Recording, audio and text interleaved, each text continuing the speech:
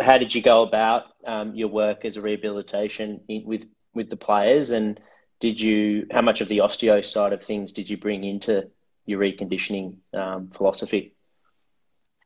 Yeah, so my time at Brisbane, I was part of the medical team as as an osteopath treating uh, the players and, and also um, providing, I guess, uh, exercise ideas from an injury prevention or, or, mitigation perspective, and worked really closely with Matt Haas and Alex Clark around that time. And we had a fantastic medical uh, crew in Shane Lemke and worked with Toby Watson, who um, had been on the Tour de France, and also Scott Fraser and, and Pete Lyon. These guys that have, have, all been within professional sport for um, a significant amount of time and so they really helped, uh, I guess, develop my uh, skill set from an osteopathic perspective and how that fit within the greater scheme of, of, our high performance department.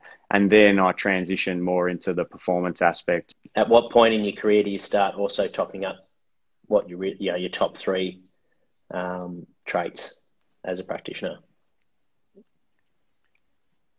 Yeah, so I think the the key um, initially is I was um, hired at the Brisbane Lions to be an osteopath. So the, the first priority is be as good as an osteopath as I can be and make sure I'm elite in that area.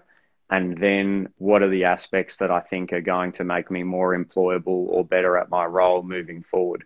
And so for me, it was using the people around me in in the the Lions environment early on uh, and some of my mentors to kind of better identify, you know, I guess my growth areas. And so, from from a performance and strength and power prescription perspective, there was a little bit of that. For those, whether it be developing footballers that may have just had an injury and are, and are currently in rehabilitation, what what are some things you've seen over time that are trends when rehab doesn't go well um, that you try and make sure that athletes understand early days when when they're in rehabilitation?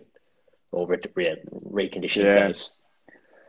I think where possible, it's uh, getting uh, the athlete to start early, and um, and that may, you know, if we're talking about soft tissue injuries, that can tend to be quite early. It can be day one post injury, but um, you know, it's understanding that movement is medicine, and uh, and the athlete will get lots of confidence out of being able to to move and move early, and so where possible trying to to have that as as one of your key philosophies, I think, is important, and that, even goes for possibly uh, bone injuries and tendon injuries as well. There is always something you can do, so focus on on what the athlete can do, and whether that's from a cross training perspective, a, a, strength perspective.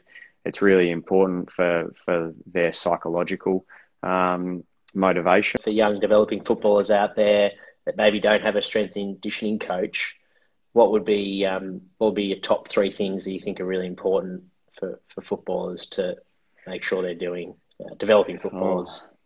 Doesn't have to be training, three, but just yeah. Consistency is key. Um, yeah. So you know, m- maintaining uh, consistent uh, running exposure, consistent high speed and sprint running exposure, but also making sure you have consistent skill exposure. I think sometimes we can get caught up in, oh, I need to get fitter, so I'm just going to run. But making sure that you're exposed to the skill development aspect is is key from an injury prevention perspective. I think the research is pretty clear that uh, there are a couple of, of valuable exercises if you if you don't have um, strength and conditioning uh, advice that you know performing a, Nordic once a week, performing some adductor um, strength Copenhagen's or or other variations once a week uh, can have a, a, benefit on maintaining tissue resilience. Strength and conditioning aspects. What else do you think osteopaths can provide for footy footy players?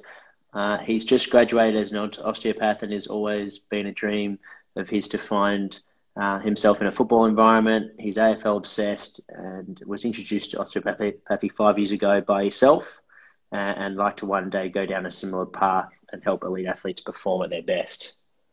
There you go. That's a good one.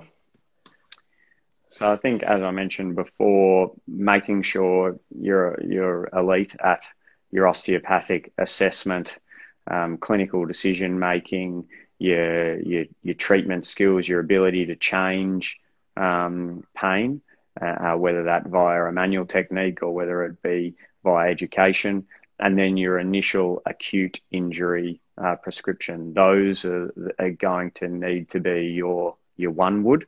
Then developing uh, your S and C knowledge around reconditioning uh, from a running perspective and understanding the different aspects of MAS, aerobic capacity, uh, high intensity training. I think is important if you're wanting to to progress into um, elite sport.